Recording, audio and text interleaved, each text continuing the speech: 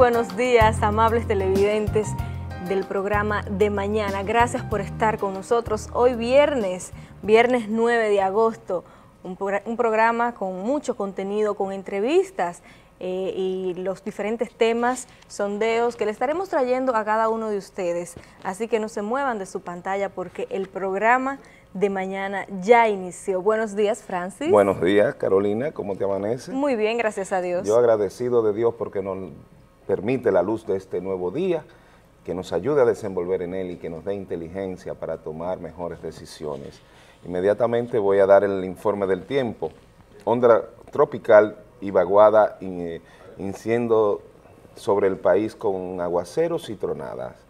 Una nueva onda tropical desde tempranas horas de la madrugada comenzó a aportar condiciones de humedad e inestabilidad que, unida a la vaguada que nos afecta desde hace varios días, ambos fenómenos estarán favoreciendo la ocurrencia de nublados con aguaceros dispersos, tormentas eléctricas y aisladas ráfagas de viento.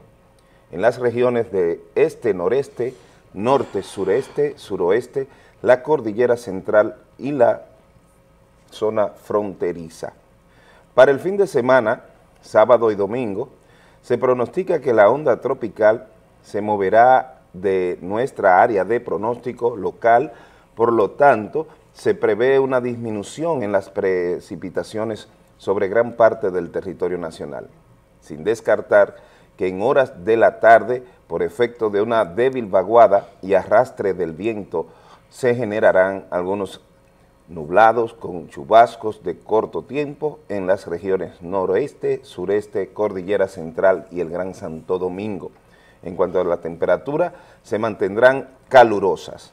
Por lo tanto, se recomienda ingerir suficiente líquido, vestir ropa ligera y evitar por el periodo prolongado las horas mayor insolación desde las 11 de la mañana hasta las 4 de la tarde. Muchísimas gracias, Francis. del tiempo.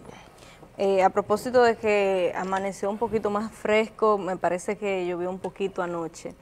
Eh, vamos nosotros... ¿Refrescó? Sí, se refrescó, entiendo. Suerte que fue ya entrado, si hubo chubasco, entrado la noche, porque cuando esos chubascos es después de varias horas del día, entre el asfalto, el caliente, ah, lo que produce es un calor terrible. Una humedad eh, fuerte. Vamos, eh, Francis, nosotros a propósito de que este lunes 12 de agosto tendremos otra huelga, para la región completa. Recordar que San Francisco de Macorís hace hoy dos días eh, estaba en un proceso huelgario a propósito de una entrada fuerte para toda la familia dominicana el año, la entrada o el inicio del año escolar. Eh, hay que analizar todo lo que conllevan estas demandas eh, muy justas y, muy necesarias para el pueblo, para los pueblos, en este caso para la región. Ya en el transcurso del programa tendremos precisamente al colectivo de organizaciones populares que una de mis interrogantes, y sé que la de muchos, si las demandas de este pasado miércoles 8, eh, perdón, 7, son distintas a las demandas del próximo lunes 12. ¿Por qué? Porque entiendo y se refleja una disparidad o una contradicción que dos grupos, dos facciones de la sociedad se disputen una lista de reivindicaciones con sus prioridades como ellos las, indican y que otros también tengan esos reclamos. Y tú sabes que otra cosa, se debe definir si el Estado Nacional es responsable, de cuáles son responsables y cuáles corresponden al municipio. No he visto las del municipio en sí mismo, porque los ayuntamientos tienen como administración más cercana al pueblo una cantidad de, de responsabilidades y que corresponde directamente a la inversión pública municipal.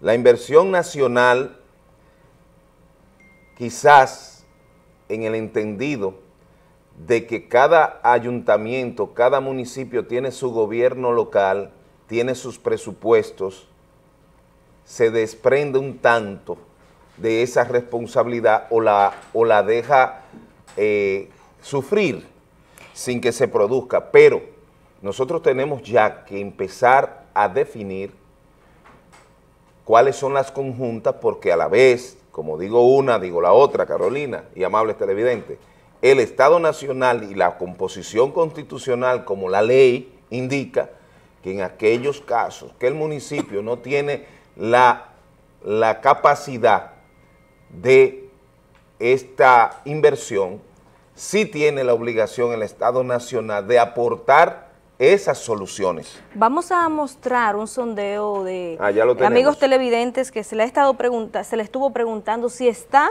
eh, o cómo valora la pasada huelga, está de acuerdo con el llamado a paro para el próximo lunes. Vamos a ver qué dicen los amigos en las calles.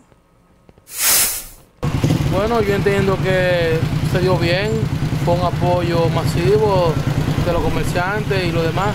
¿Estaría usted de acuerdo con el próximo llamado de lunes? ¿La apoyaría usted? Mil por mil. Y discutiblemente, porque hay muchas reivindicaciones que el pueblo necesita que se la resuelvan. Bueno, para mí eso fue una pérdida de tiempo inútil. Pérdida total de tiempo y hacer a la gente que trabajamos día por día perder su día de trabajo, pero teniendo que mantener el mismo nivel de gasto yo que tengo una clínica, yo soy doctor Ari Pablo médico, y tengo varios empleados, yo tengo que pagar igualito. Mira, a mí no me gustan la huelga, yo estoy en contra de la huelga. Oye, soy una gente de trabajo, yo lo que pienso es que cada vez que quieren un día libre inventan una huelga. Esa es mi, mi opinión personal. Oye, soy una gente de trabajo, yo no creo en huelga. Yo soy anti-huelga. Si hacen lo que hay que hacer, como el puente de Ugamba y lo que están, lo estamos reclamando, yo la veo bien. Si si cumplen con lo, con lo que queremos. ¿Apoyarías tú la huelga del lunes? Sí, yo no la apoyaría porque de trabajar, yo vivo de mi trabajo. ¿Ya la vi bien? ¿Usted la vi bien? ¿Y estaría usted de acuerdo con la del lunes? ¿La apoyaría usted?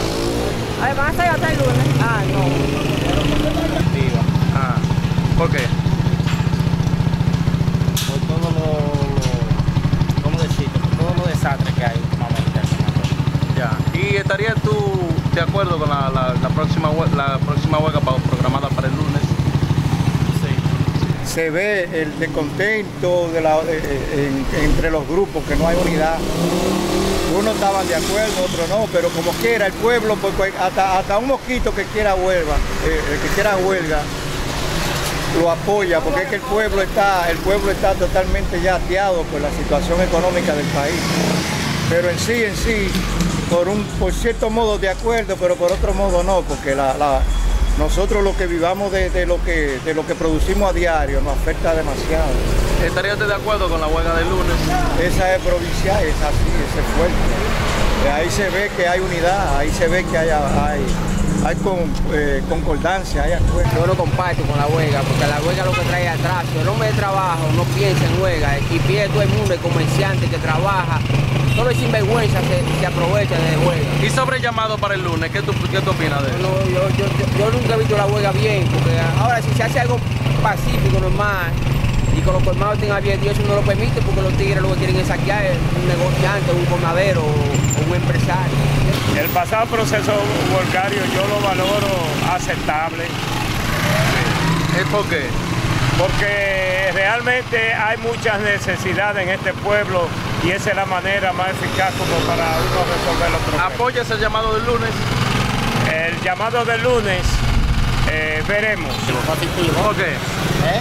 Sí, porque va a ser bien, no pasó muy, eh, cosa pasó, eh, hizo mucho daño. ¿Y para el del próximo lunes, está usted de acuerdo con eso?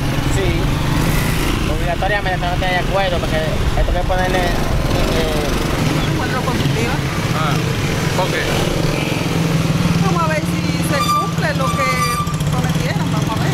¿Y para la del lunes, ¿estaría usted de acuerdo con ella? ¿Usted la apoyaría? Ya yo quiero que paren todo esto. En esto nada más se consigue muerte y más nada. Positivo. ¿Positivo? ¿Por qué? Bueno, porque las reclamaciones son justas y la población respondió. Eh, ¿Estaría usted ah, de acuerdo con el llamado de, de lunes? Es muy rápido. Deben dar un compás de espera.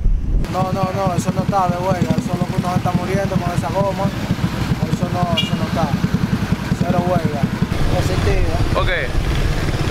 Bueno, para mí que, que, que se dio tranquilo, eso fue lo que más me gustó. Desde que se le procediera como se diera, no, no te puedo decir porque no, no la pasé aquí tampoco. ¿Está usted de acuerdo con la del lunes? Si es para resolver algo, está bien. Positivo, bastante bonito, bastante chévere, se dio eh, normal. ¿Está usted de acuerdo con el del lunes? Ay, no, no, ese no. ¿Por qué? Porque eso es atrás del país. Positivo. Eh, ¿Por qué? Porque estamos cansados de tanta promesa de Aledía también. No hay caballo de vaca sagrada. Aledía prometió un viaje vaga. No ha hecho dos. ¿Y está de, está de acuerdo con la del lunes? Que la haga la semana completa. Para que nos acabemos de joder, porque no estamos jodiendo por el alcalde. ¿Qué será por una huelga? Eso no va a hacer daño. Con huelga no se resuelve nada. Lo que hay que buscarle la solución a los problemas, pero con huelga no, soluciona, no se soluciona nada. Se va a hacer huelga y huelga y no se va a solucionar nada. ¿Está de acuerdo con el llamado para el lunes, el otro paro que tiene? Si la hacen, estamos ya no de acuerdo y si la hacen la huelga, no la hagan. Pero no estamos de acuerdo que no se, no se resuelve nada con huelga, papá. Positivo. ¿Positivo? ¿Por qué? Un apoyo. Ya. ¿Está de acuerdo para el próximo llamado del, del lunes? No, ya no. ¿Por qué? No, muy pronto. Eso es negativo, eso es la huelga lo que deje atrás. Ah, Eso es muy bien. Está atrás con la huelga. Está negativo. ¿Por qué? atraso. ¿Eh? ¿Por qué? ¿Qué por qué? Porque eso retrasa lo que va para adelante. Por eso. Retrasa, mira, hay, es raro que en esta huelga no hubo muertos. Es raro. Tú sabes que siempre en la huelga hay un muerto y pasa la huelga. ¿Qué hace? ¿Tú me entiendes? Por eso yo lo veo negativo. Negativo. Positivo, mi hermano. ¿Por qué? Es que sí, que va- que vamos, a tirarnos, vamos a tener que tirarnos por la calle nosotros. ¿Estás de acuerdo con la huelga del lunes? Claro. Negativo. Bueno, negativa. ¿Y estás de acuerdo para la del lunes? No. Negativa. Positiva. ¿Estás de acuerdo con la huelga entonces del, del lunes? Siempre. Es la única forma de que los políticos entiendan que el pueblo necesita las cosas. Positivo, no pasó nada, gracias a Dios. Ah, ¿y apoyaría la del lunes? Bueno, hay que apoyarla porque esto no está muy bueno, esto hay que apoyarla para que esto se arregle. Bueno, yo la veo negativa. ¿Por qué? Y sabe una cosa muy importante. Las últimas huelgas que han hecho en Macorís no se logran los objetivos. Y el individuo deja de trabajar. Y aquí si tenía eh, mil pesos guardados hay que comprarlo. Y no se ve la positividad. Dice que no se ve el adelanto. Dicen que para el lunes hay otra huelga, otra desgracia. Increíble. Yo creo, Carolina, que el sondeo define que tiene un saldo negativo la del próximo lunes. Y no- Nadie, con excepciones de dos o tres. Y eh, hay Por muy que- hay pronto que- y el trabajo.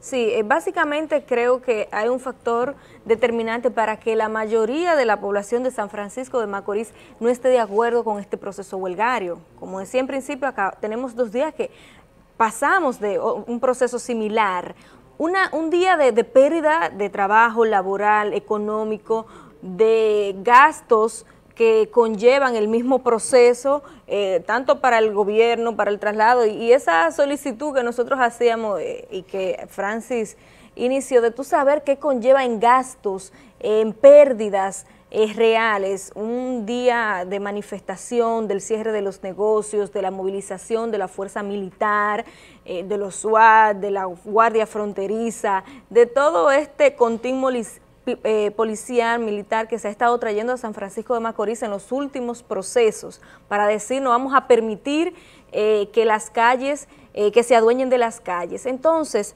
San Francisco de Macorís, entiendo que a menos que eh, no sea una huelga muy severa, muy fuerte, que haya muchas situaciones en las calles, entiendo que los negocios van a abrir, porque es que es inaguantable e insostenible. Buenos días. Vamos a darle paso a una llamada. Buenos días.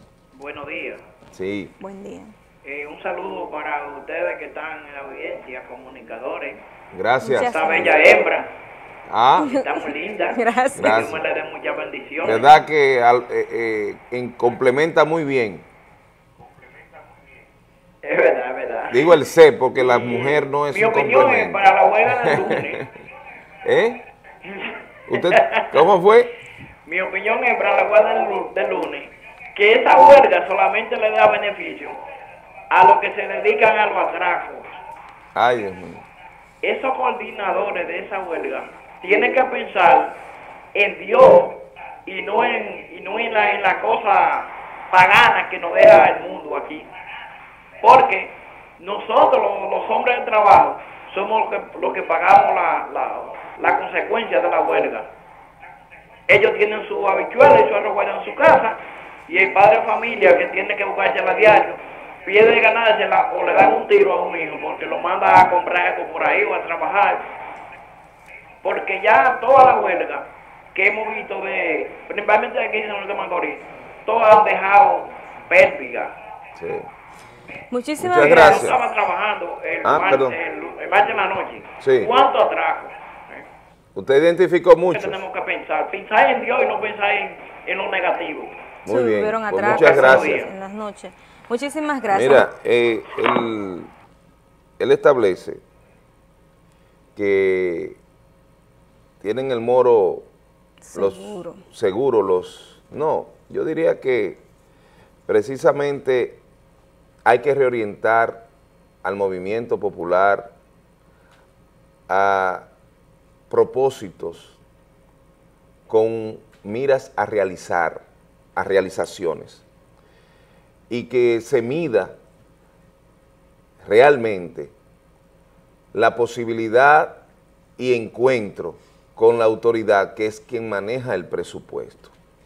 Ciertamente, y estamos de acuerdo todos, no es necesario hacer estos desórdenes cuando se tiene claro que el cumplimiento de su deber conlleva prioridades y necesidades por cumplir. De no tener eso y no concretar un acuerdo social, que soy de lo que cree que el próximo gobierno, el que se perfile como próximo gobernante en el 20, el pueblo tiene que exigir de cualquier litoral, de cualquier litoral, ese acuerdo de desarrollo nacional con los ayuntamientos que tengan también la responsabilidad de asumir sus roles y no dejarse eh, variar los proyectos que la misma comunidad a través de los presupuestos participativos. Establecen como prioridad. Mira, eh, Francis, yo le hacía, cuando estábamos entrevistando al vocero del Falpo, a Raúl Monegro, la pregunta de por qué no unificaban o no se unían en una sola lucha, en una sola voz.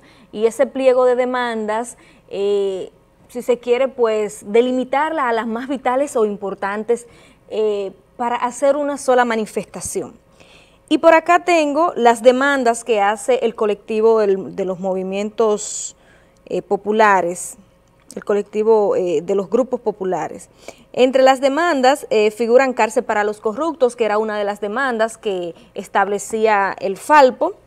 Estos solicitan la eliminación de ley de hidrocarburos, aumento general de salarios, que ya se entiende que aún están en Bueno, me disputa, imagino pero que se- la ley de hidrocarburos se refiere al mecanismo de establecer los precios De que lo- otra cosa. sí, de los combustibles. Porque se requiere una ley de hidrocarburos que se tenga claro cómo el país sostiene el consumo de hidrocarburos no siendo un país productor de uno de los principales eh, materia prima que es el petróleo. sería más bien no la eliminación, sino la modificación.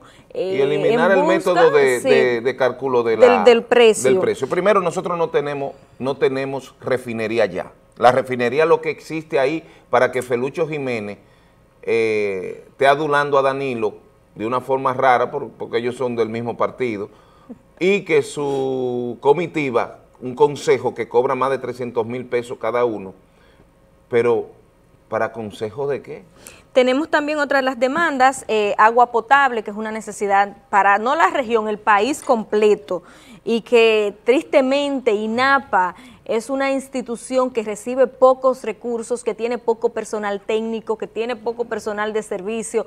Y todo eh, lo que conlleva una organización bien fortalecida no lo tiene y estamos hablando de algo vital, es un tema de salud si se quiere, o sea, estamos hablando del agua, del consumo de, esta que, no llega al hogar. Y no está llegando el agua, es decir, que tiene una deficiente fórmula de distribución. Pero hasta en el cobro es deficiente porque le cobran algunos sectores. Y, es una situación eh, que hay que e INAPA y, el gobierno que llegue y Danilo tal debió de asumir esta institución, de darle un carácter eh, que conlleva y la importancia que merece. Yo tengo un caso pendiente en INAPA y estoy esperando que me llamen porque no he pagado en razón de que no se está recibiendo agua en el lugar que se debe pagar. Entonces yo le preguntaba, cuando se contactó a uno de los técnicos, dice, es verdad, y no está llegando. Ahí Entonces ahí INAPA tiene que resolver el tema de distribución. También la del control del uso irracional del agua, que hay empresas que se dedican a la venta de agua potable, pero a la vez tienen tomas para vender camiones, como son los camioneros que van a la a Cenoví. Y por último, la otra demanda es el cese de los apagones.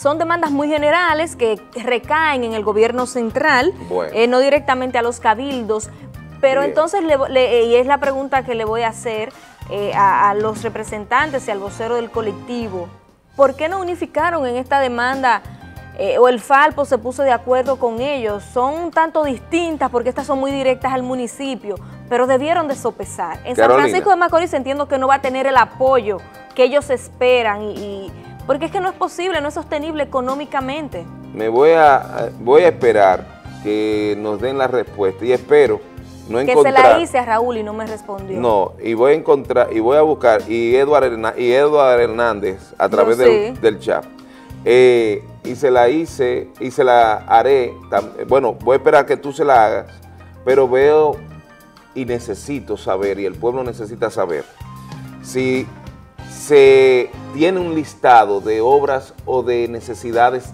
locales para San Francisco y la región que no están contenidas en la primera huelga o en el primer paro. ¿Un listado? De las necesidades que ellos van a luchar el lunes por nosotros. Se supone que es un asunto... Es lo que te decía, son demandas generales que recaen sobre el gobierno central, el cese de la corrupción, la ley de hidrocarburos, el cese de los apagones, agua potable, Deben coger es al gobierno. La de la corrupción, ponerla a un lado, porque ya sabemos qué está pasando en este país. No que yo quiera criticar, es la muestra que está dando la autoridad, Ministerio Público. Y yo dije aquí en este programa, ya sí llegamos. Desde que Jan Alain hizo el libreto malsano, de proporcional, de crear en palabras, no en documentos y en verdades, un expediente a la magistrada Miriam Germán después de 41 años, este mocoso, insolente, y un presidente que no le hizo ni mella. Al contrario, cuando le tocó votar, votó en contra de ella. Es decir, era un plan definido para llevarse a Miriam y a cuatro jueces más para poner estos... Entonces, y mira lo que está pasando en Villabaja. Cuando salga el presidente Medina del gobierno, ¿qué pasará con Jenna Line? No tiene más de 400 millones de pesos. Quedará en los... El que tiene cuarto aquí parece ser que no le importa un carajo.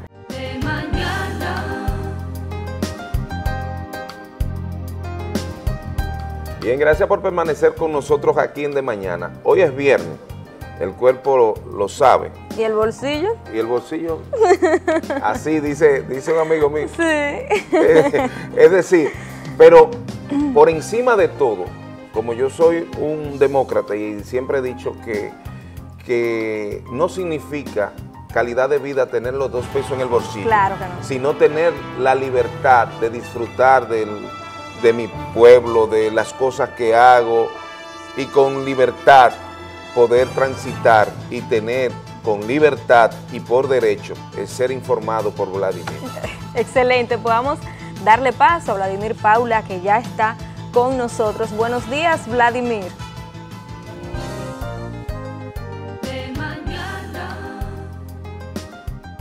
Buenos días, Carolina. Buenos días. ¿Cómo estás, Carolina? Bien, bien. ¿Están de fiesta ustedes? Sí, sí, hoy es un día muy especial para nuestra familia. Qué bueno. Así es. ¿Y Francis? Aquí presente, hermano, mandándole un saludo a Darmis y a ti eh, y felicitarla y con ella felicitarte a ti. Bueno, gracias. Porque ustedes están de cumpleaños. Eh, eh, yo sé que ella es la que manda. Sí, sí, ella es la que tiene el, el, el, el, control, el timón, el, timón. El control.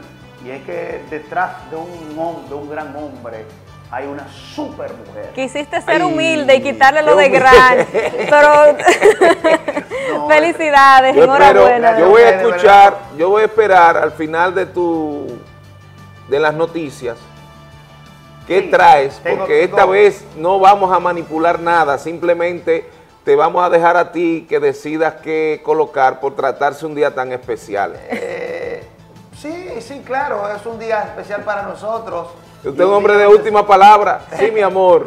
Y donde siempre, ¿verdad? Eh, eh, estaremos dispuestos a ofrecer las informaciones a toda la ciudadanía y más los viernes, donde como tú decías, es un viernes que iniciamos bohemio y en el día de hoy, en este cumpleaños de nuestra esposa.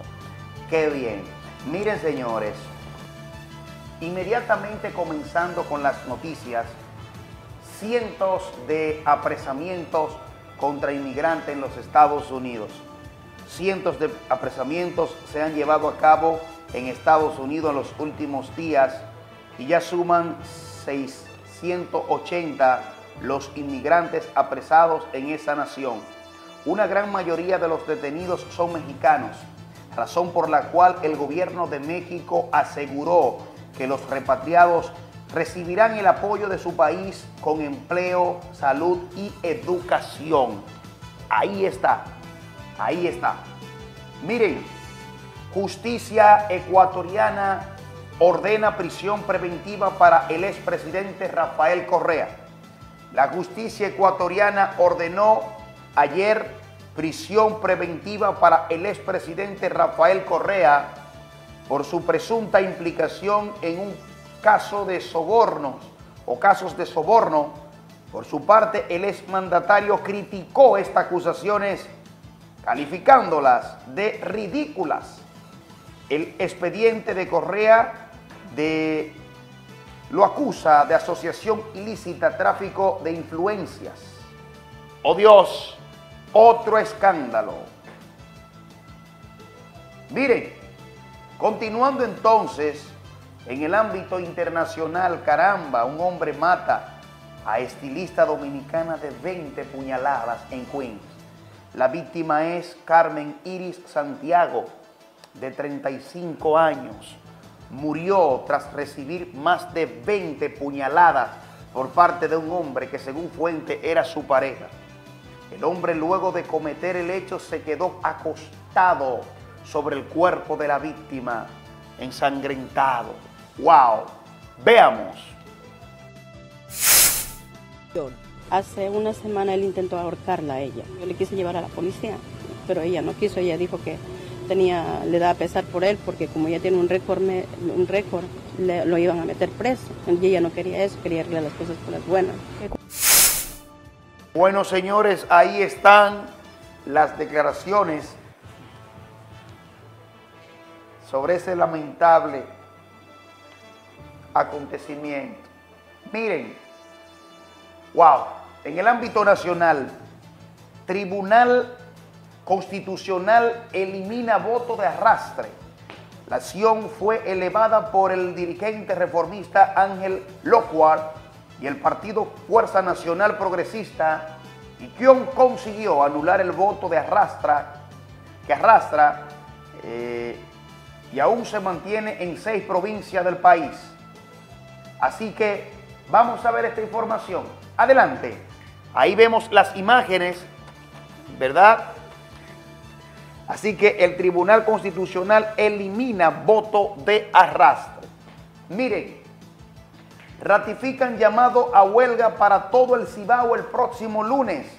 La coordinadora de organizaciones populares del Cibao ratificó el llamado a huelga para el próximo lunes y aseguran paralizarán 14 provincias del país. Adelante. Ratificamos el llamado a huelga para este lunes 12 de agosto. Anunciamos al país y a los pueblos de la región del Cibao la convocatoria a huelga regional para este lunes 12 de agosto. Esto es una jornada cívica y pacífica en reclamo de soluciones a la problemática que afecta a la actividad productiva y comercial de la región. Ahí está, así que se ratifica el llamado a huelga para el próximo lunes en todo el Cibao, señores. Miren, entrando en el ámbito local regional, ciudadanos opinan sobre los precios de los útiles escolares. Ya que estamos al doblar de la esquina, ¿eh? Las tiendas están abastecidas de útiles escolares y vamos a ver qué opinan algunos padres y madres que han acudido ya a la tienda a comprarlo. Adelante. No les sabría decir exactamente, pero normalmente no importa el precio que tengan los útiles escolares, sino es la situación económica que actualmente estamos viviendo. No importa que estén caros, que estén baratos, si no tenemos los recursos para acceder a ellos. En el caso, en el caso suyo, ¿cuántos usted tiene? Tres. Tres. Las cargas fuertes. Bastante. ¿Están buenos? Sí, sí. ¿Qué anda? Eh, pantalón de deporte, pantalón para el niño de la escuela. y Son muy buenos los precios. ¿Cuáles son las expectativas para este año escolar? Sí. Eh, bueno, que aprendan, que aprendan mucho más que el otro año porque estuvo pésimo, pero que aprendan, sí, y a todos los niños.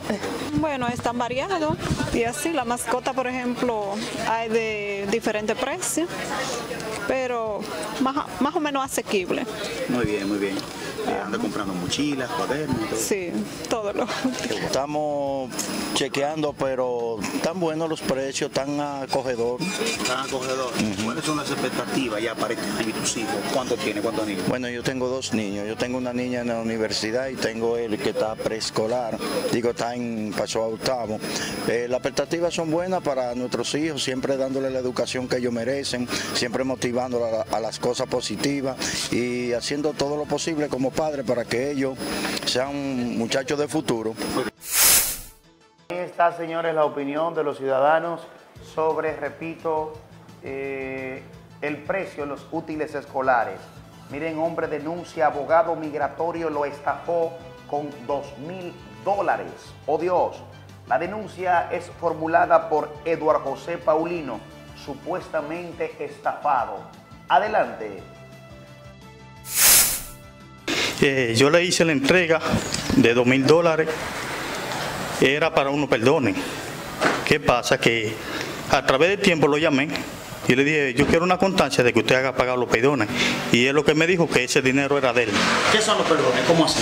Eso es para, yo tengo un problemita para ir a Nueva York. Él, él te estaba entonces solucionando ese problema para que te dieran el perdón. Sí. Entonces, Eh, yo fui con papi y se negoció. El perdón supuestamente dijo que había que pagar uno. Eh, unos 920 dólares, que si sabe de eso. él se llama como ese abogado. No, yo lo conozco por, por ese nombre así, que eso, no sé si es la empresa. Heriberto Cabrera. Esa es la- Heriberto Cabrera. Parece que la compañía, diría yo, no sé. Bufete abogado. Pero también yo lo he oído por televisión, eh, por radio, cuando dicen el nombre de, déjame ver, como Ariel. Me sonó eso, porque yo lo, lo admiraba mucho a él, pero lamentable caso, lo que me está haciendo, yo quiero que me devuelva mi dinero. ¿De cuánto hablamos entonces? Dos mil dólares. Alrededor en cuánto sirve ya peso dominicano entonces. Eh, 103 o 104 mil pesos. 4 mil pesos entonces. Ahí está. Tenemos informaciones de que ellos se mantienen en diálogo, eh, de que ya en, los, en las últimas horas se han comunicado y que supuestamente el abogado se compromete a subsanar esta situación, a devolverle supuestamente eh, el dinero. Fue la información que tenemos de último minuto en el día de ayer. Miren señores, comerciantes se oponen a llamado a huelga para el próximo lunes. Escuchemos. Adelante. La postura del comercio sigue siendo la misma. Nosotros estamos obedientes al trabajo. y lo que queremos es trabajar, que nos dejen trabajar. Y máximamente ahora que hay una serie de, de juventud que se ha dedicado al comercio, no podemos desencantarlo. Entonces, eh, yo pienso que el llamado del lunes no debemos acatarlo, nadie, no solamente el comercio, nadie debe acatarlo. En primer lugar, porque es, un, es una convocatoria regional de las 14 provincias del Cibao, y eso es mentira, que nadie va a cerrar las 14 provincias del Cibao, ni los partidos políticos han podido cerrarlo nunca. Entonces, solamente pagamos las consecuencias San Francisco, eh, Salcedo, Licea y Medio y Navarrete. Después Santiago, La Vega, Moca, todo el mundo trabaja, menos nosotros. Estamos en desventaja eh, referente al comercio regional. Está el llamado que hace el comerciante empresario Eufemio Vargas. Miren, renuevan prisión preventiva policía acusado de matar dos jóvenes aquí en San Francisco.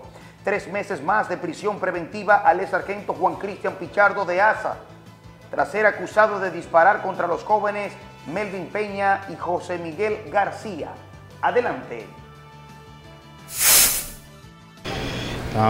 El Ministerio Público solicitó que sea renovada la prisión preventiva al, al ex agente Juan Cristian eh, a los fines de que en tres meses más pueda el juez tomar control de la medida que fue impuesta. Esa situación fue acogida directamente por el juez de la instrucción, dictando tres meses más de prisión preventiva, con vencimiento el 8 de noviembre del año 2019. Se renovó la prisión preventiva en contra de Juan Cristian Pichardo de Asa, en virtud de que no presentó ningún tipo de presupuesto que den al traste con la variación de la medida de coerción. Tampoco eh, hicieron una solicitud de que fuera trasladado a otro lugar, como lo veo operaciones especiales. Eso resulta inoperante toda vez de que, primero, está fuera de lo que es la revisión y segundo, no presentaron ningún tipo de prueba para eso. O sea que realmente fue renovada. Ahí está, señores, así que renovada la prisión preventiva para este ex policía. Miren, señores, imponen prisión preventiva contra acusados de ultimar joven en medio de asalto. La Oficina Judicial de Servicio de Atención Permanente del Distrito Judicial Duarte impuso tres meses de prisión preventiva contra dos acusados de ultimar a José Luis Conce Valerio durante un asalto registrado el pasado domingo. Carlos Alfredo Rodríguez y Daniel Alberto Castro Liriano deberán cumplir la medida de coerción en la fortaleza de Juan Pablo Duarte. El abogado Emmanuel de Jesús Sánchez calificó como excesiva la medida impuesta. Veamos. Solicitó un año de prisión preventiva que el tribunal declarará complejo el caso, pero no reúne el caso los requisitos de pluralidad de agentes y de crimen organizado. Con relación a mi representado, el diputado Carlos Alfredo Rodríguez Gómez, nosotros entendemos que la prisión fue injusta y arbitraria, toda vez que se ordenó una orden de arresto en su contra porque supuestamente el coimputado, Daniel, eh, le manifestó a un capitán investigador que participó conjuntamente con otra persona. Situación esta que violenta todo el andamiaje jurídico, el debido proceso legal. Eh, toda vez que eso dejó, eh, sumió a nuestro representado en un estado total de indefensión. ¿Qué medida le pusieron? Tres meses de prisión preventiva. ¿A qué prisión mira A la, a la Fortaleza Duarte. Ahí están las declaraciones por parte, ¿verdad?, de este abogado en torno a lo que fue, repito, la medida de coerción contra estas personas acusadas de, de ultimar a ese ciudadano. Tal y como decía Francis al principio, hoy es viernes, el cuerpo lo sabe, un día especial para nosotros, para mi familia, para mí. Porque no tuvo la inteligencia, ni el suficiente arrojo y valor, ni la hombría para enfrentarse a sus propios miedos, a sus miseria humana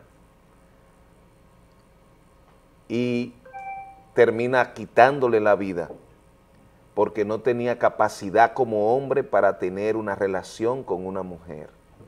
Mira, el tema de los feminicidios es muy penoso, es muy penoso que podamos nosotros tener que dar este tipo de informaciones. La vida de otra persona, de un ser humano, no puede ser cegada.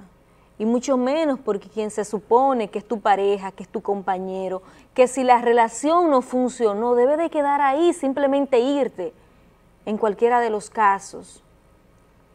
Una familia destrozada, una comunidad que pierde eh, a una persona, una dominicana que está fuera del país trabajando, mandando o ayudando a su familia desde acá, una mujer joven, hermosa.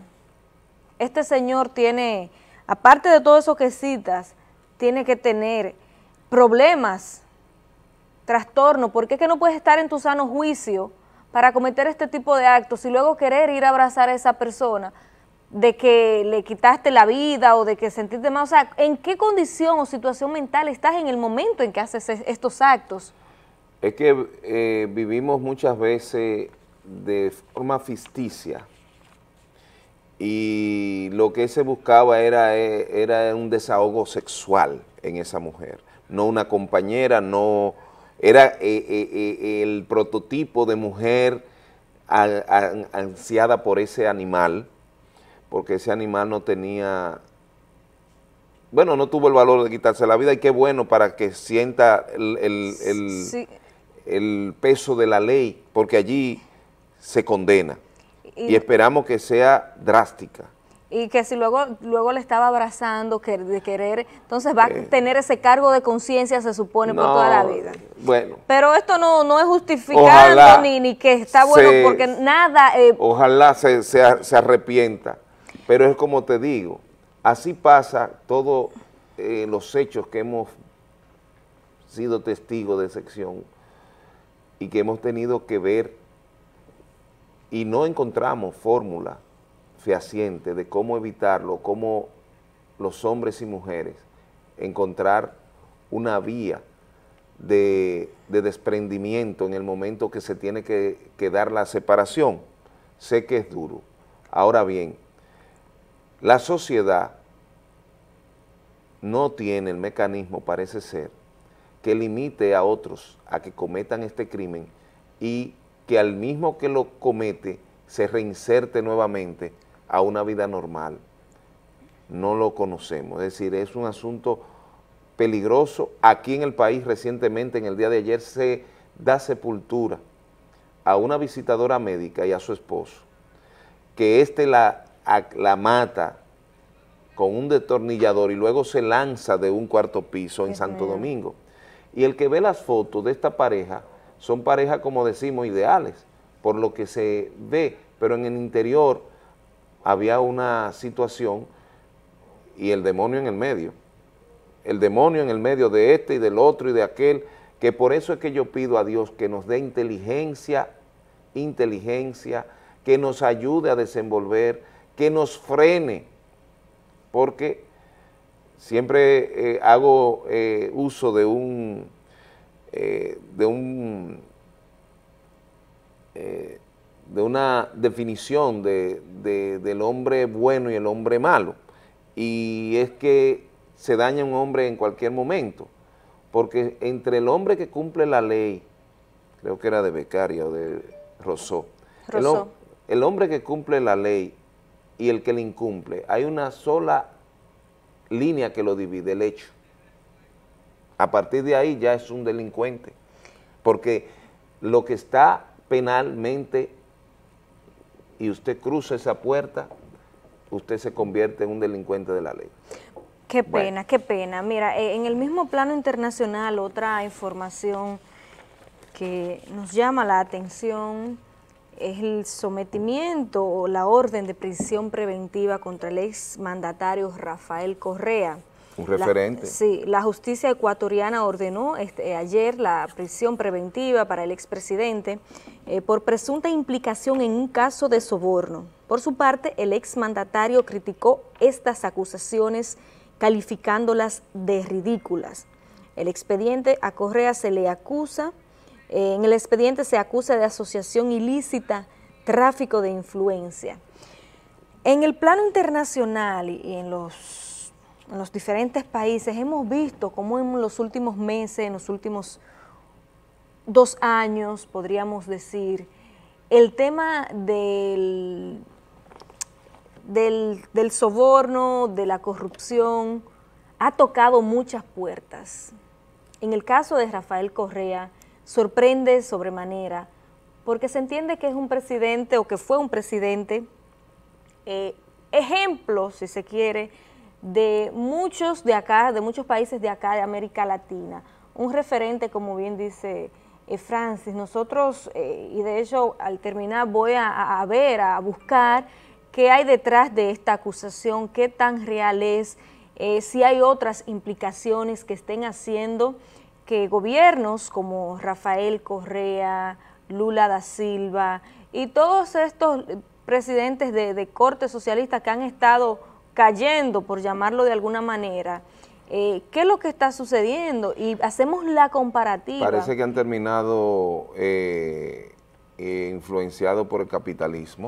Pero entonces... Y lo que habíamos luchado para que los gobiernos se convirtieran en gobiernos verdaderamente social, E democrático y de derecho, como dice nuestra Constitución, han perdido el norte, muchos dirigentes o muchos actores, y han implicado a presidente. En el caso de Correa yo entiendo que sería difícil probar una, un tráfico de influencia porque cuando tú ejerces la función de mandatario de un país, quizá hay colaboradores que dentro de sus funciones tiende, tienden a favorecer a personas y quizás se determinan que tienen relaciones familiares o más allá de negocios, pero eso puede atraer por, la, por los moños a un presidente que un colaborador actúe en sus funciones, porque si es de dar un permiso para dar un caso, y es la función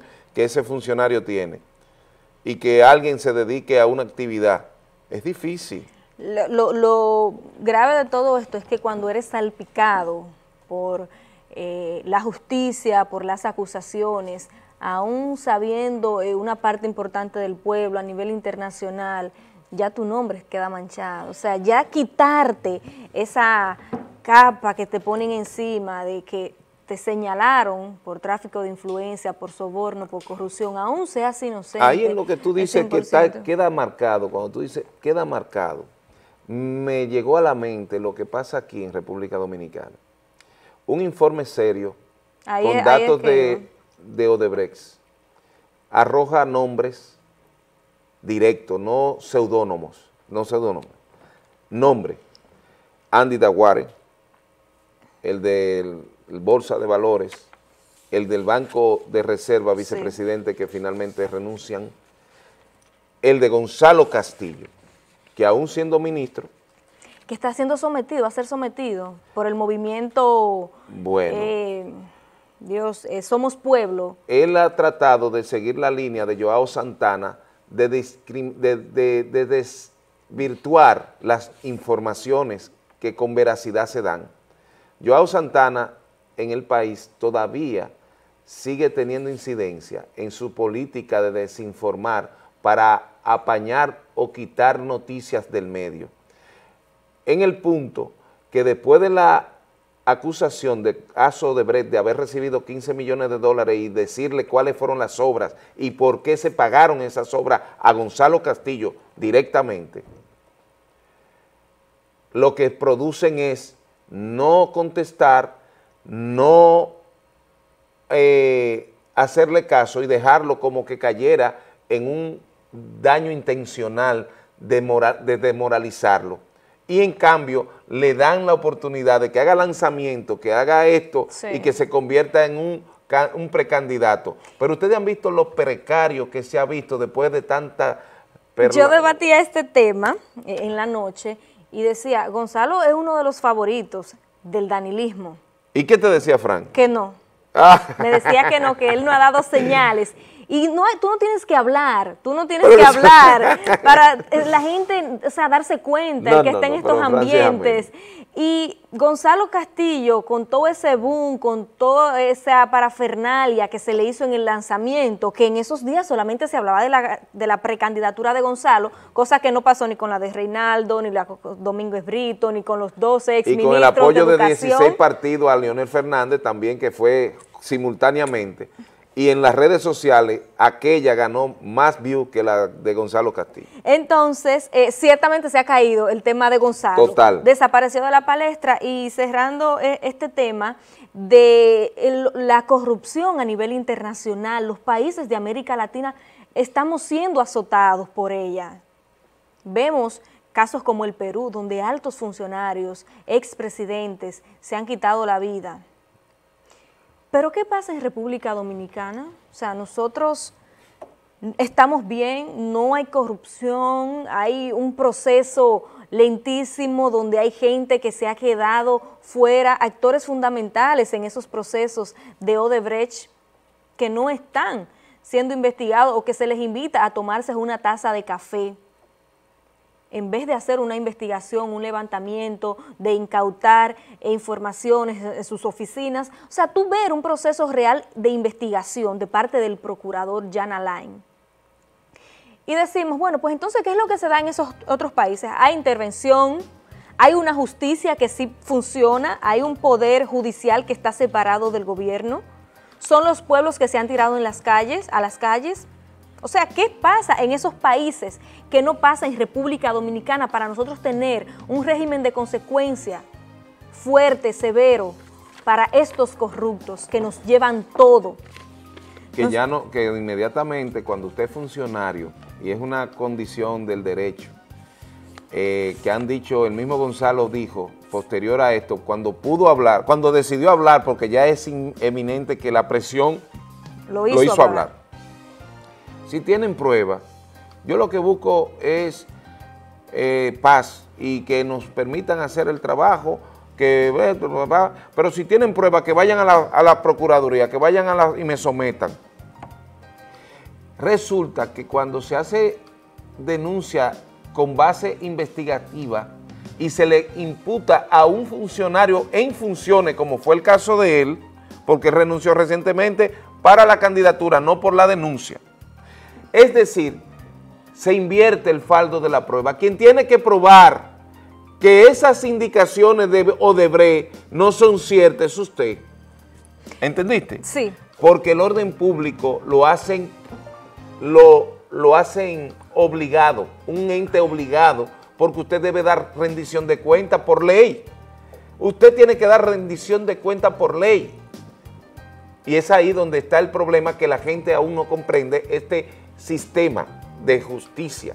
Pero, pero en ese proceso se va perdiendo la moral y los referentes se van cambiando porque es un referente de que hay que tener cuarto y hacer cuando- con el poder lo que le venga en gana. Quiero eh, ya, antes de irnos rapidito, esta información de un hombre que denuncia que fue eh, estafado por un abogado migratorio, lo estafó con dos mil dólares.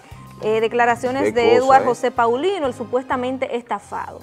Y quiero hacerlo eh, a modo de conciencia. Los ciudadanos tienen que tener mucha cuenta, mucho cuidado con estos supuestos asesores migratorios que están en las calles, Ellos no son que tienen, se- que tienen sus oficinas, que le cobran mil, dos mil dólares, que te, tienes que pagar 30 mil pesos si te dan la visa, como que, eh, eh, o sea, como que es un impuesto aparte, o sea, un sinnúmero de, de acciones que hacen en ese proceso en que la gente está solicitando o está buscando asesoría para buscar su visa, solicitar su visa norteamericana, hay que tener mucha cuenta con esta. No se ponga a pagar miles de pesos, 30, a veces van dos parejas, tienen que pagar casi 60 mil pesos. Un proceso que fácilmente usted lo puede hacer. No se deje engañar por estos supuestos asesores migratorios. Mira, eso es Estafan un- a la eso gente. es un problema. Y además que sepan, pero señores, el asesor le puede indicar, darle pautas para que usted vaya preparándose y lleve las condiciones para ponerse frente a un cónsul. Pero el cónsul que da la visa, no, el abogado. Di que luego pagarle, tienes que pagarle Aunque luego esto era que un te quedan la procedimiento visa. que de perdón que existe en la Embajada de los Estados Unidos y un dominicano que haya tenido una felonía, una, un caso menor, puede pedir el perdón y, y son evaluados y finalmente se dan.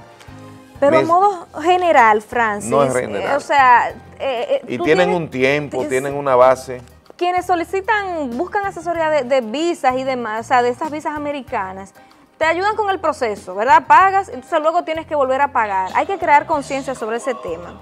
Tenemos que recordar que LIR Comercial, Francis, de mañana. Continuamos en su Estamos espacio de mañana. ¿eh? Estamos de regreso, Francis, Sí. y hay una interesante cápsula agropecuaria, eh, como estamos acostumbrados, Jonel Silvera, que nos asesora y nos muestra un poquito del mundo agropecuario. Vamos a presentársela a ustedes. Veamos. En esta edición le hablaremos sobre bioinsumos, un giro hacia la sustentabilidad, buenas prácticas agrícolas, un espacio para acompañar a los productores agrícolas desde la siembra hasta la comercialización. desarrollo, biodiversidad, comunidades en intercambio y en convivencia bajo una relación entre sí y un desarrollo y un crecimiento sostenible. Buenas prácticas agropecuarias. En esta edición le mostraremos los bioinsumos, la fertilización orgánica y cómo podemos aprovechar todo ese material orgánico en sí para un desarrollo relacionado con la naturaleza, con las raíces, con las plantas y va a un enfoque de control natural para un aprovechamiento de los sistemas y, y un uso hacia la humanidad. de mañana. El término bioinsumos alude a los productos elaborados a partir de organismos benéficos tales como bacterias, hongos, virus e insectos o bien a extractos naturales obtenidos de plantas y que pueden ser utilizados en la producción agrícola para controlar plagas o promover el desarrollo de las plantas. No dejan residuos tóxicos en el medio ambiente y su utilización es segura para la salud de los agricultores y los consumidores. Introducir este tipo de productos en las semillas, en el suelo o en los sistemas de riegos depende de diversos factores. El tipo de suelo, la temperatura, las características climáticas de la zona, la cantidad de luz, la interacción con otros productos biológicos y agroquímicos, entre otros. Son aspectos cuyo manejo requiere un proceso de capacitación y acompañamiento por parte de las dependencias gubernamentales y de las empresas dedicadas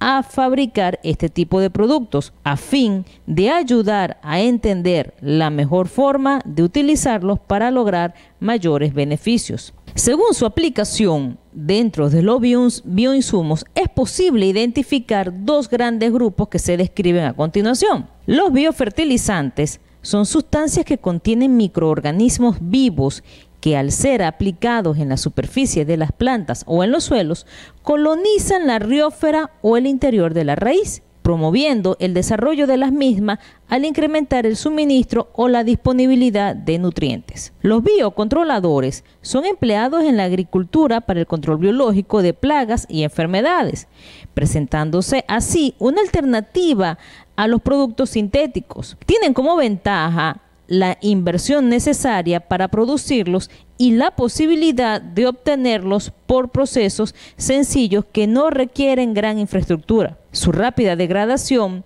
permite que sean aceptados y permitidos en los procesos de producción orgánica debido a que no dejan residuos, facilitando el logro de inocuidad alimentaria. Organismo beneficioso, bioinsumo, una manera de desarrollo en crecimiento para vivir en armonía, en simbiosis con la naturaleza, con el suelo y las raíces, con estos agentes que son eh, virus, bacterias, que se aprovechan de ellos para en sí relacionar y fijar algunos fertilizantes como nitrógeno, fósforo y potasio y la planta lo pueda aprovechar que los trae del medio ambiente bajo una simbiosis con estas micorrizas o algunas bacterias y pueden así extraer estos fertilizantes y la planta desarrollarlo en crecimiento. Y de esta manera lo podemos usar como fertilización, una fertilización que la aprovechamos bajo una simbiosis. Eso es lo que llamamos bioinsumos y un desarrollo con fertilización orgánica.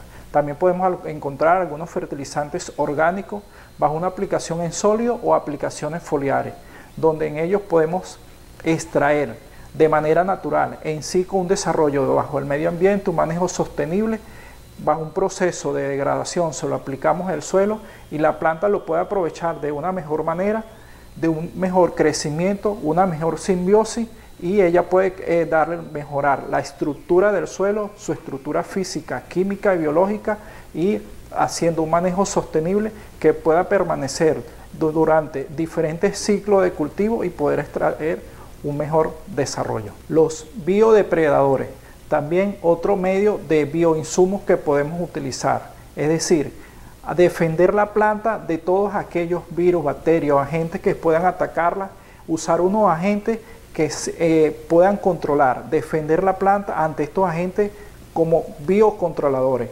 controlar bajo ciertas condiciones y dárselo a ellos, soltárselo, entregarse a la planta para que ellos lo puedan defender y la planta de una manera natural, de una manera biológica y orgánica, defendernos de esos agentes depredadores hacia la planta y poder atracarlos biológicamente por medio de la naturaleza. También podemos tener algunos controles muy utilizados en aguas residuales donde se extraen todo ese efecto residual, todo ese efecto de agua, de efectos fecales, estos agentes pueden desarrollar, de extraer todos estos abonos orgánicos y darle un uso más adelante de estas aguas y se han desarrollado muchas tecnologías en cuanto al tratamiento de agua, y tener una, extraer agua mineral mediante un tratamiento biológico, mediante la demanda biológica de oxígeno y demanda química de oxígeno, donde se le da ese tratamiento bajo depredadores en sí para estos abonos, pero también son beneficiosos para el desarrollo de las aguas residuales. En sí, en esta oportunidad vimos lo que son los bioinsumos, biofertilizantes y biodepredadores extrayendo de ellos lo mejor. Le entregamos los biofertilizantes.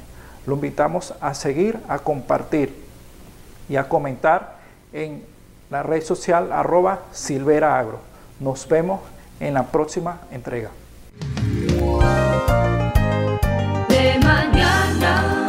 Agradecer a Silvera siempre por su atinada eh, fórmula agropecuaria. Tenemos una llamada. Buenos días. Sí, buenos días. Gracias, buenos días. A la hora. Gracias. Oye, mi amor, es para hacer una denuncia en cuanto a la policlínica de la José Reyes. Ahí no está llegando ningún medicamento. Nosotros los hipertensos tenemos como seis meses que no estamos recibiendo el medicamento. Tú vas a buscar una losartán, ahí no aparece para nada, le estamos comprando caro. ¿En la policlínica? De la José Reyes. De la José Reyes. Sí, ahí no está llegando nada. Yo misma tengo seis meses que no recojo el medicamento porque ahí no hay nada. ¿A qué voy? Uno va buscando allí un acetaminofén que no lo encuentra, ahí no hay absolutamente nada. Y si es que llega algo hoy, ya mañana no voy a buscar nada porque ya no hay. Porque las cantidades que están llegando son muy reducidas.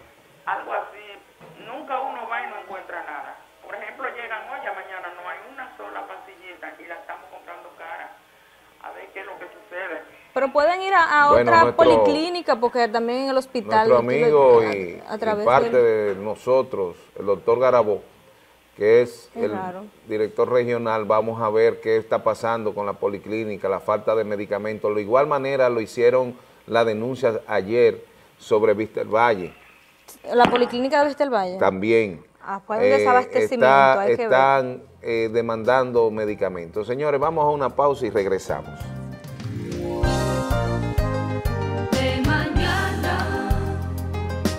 Bueno, Carolina, casi ya finalizando el espacio por este día viernes 9 de agosto 2019 y fin de semana. Quiero antes eh, resaltar, habíamos hablado anteriormente de, de la improcedencia de muchos de los artículos que contienen la ley de partido como la ley electoral. Llegué a decir que esas leyes eran las leyes más absurdas porque tiene un contenido propio de un grupo de pillos o bandidos que no solamente pensó en ellos, sino en unas fórmulas para trastornar el sistema democrático de la vida nacional. Más que la solución, han traído tormento. Pero eso se ha ido desmontando. Es- son leyes que van a ir quedando sin artículos, digo yo, porque ayer, nueva vez, la Fuerza Nacional Progresista, en un acto, eh, en una acción directa eh, de inconstitucionalidad, logra que aquel voto de arrastre solamente centrado en seis provincias fue eliminado, porque ya lo habíamos advertido de que eso trastornaría, de que era ilegal, de que era improcedente, pero ya el Constitucional se lo dijo de frente al Poder Legislativo que debió inmediatamente se, da, se, se evalúa ese tipo de ley que no soluciona nada, más bien trastorna y va con un propósito de ir cerrando el camino a otros partidos con menor posibilidad de alcanzar el poder. Esos proyectos solo son proyectos de grupo, mecanismos. Lo lamentable es que tenga ribetes de legalidad y de, y de forma de ley, pero ya el tribunal se ha encargado de decirle no y eliminó el voto de arrastre sectorizado o regionalizado a esa situación. Yo creo que el país está ganando, la democracia está ganando y el pueblo está ganando. Por último, el Ayuntamiento de San Francisco de Macorís nos invita para el próximo 16 de agosto a la rendición de cuentas y la sesión solemne. Yo solamente quiero es preguntar, saber qué vamos a recibir de información como realización de este año de gestión del 16 de agosto 2018 al 16 de agosto 2019, que son la parte de transparencia de los municipios y de las normas administrativas públicas. Esperamos ver en detalle y que se nos entregue, que no pase como en años anteriores, que no hemos tenido la información. Se aparenta tener información, pero no se da. Espero, alcalde, que esta vez se le entregue a todos los medios eh, sus memorias sin otro tropiezo. Carolina, de mi parte, Francis Rodríguez. Muy bien, Carolina Medina estuvo con ustedes. El lunes nos estaremos viendo. Desearles un feliz fin de semana a todos ustedes. Gracias por haber estado con nosotros. Dios mediante el próximo. Así será.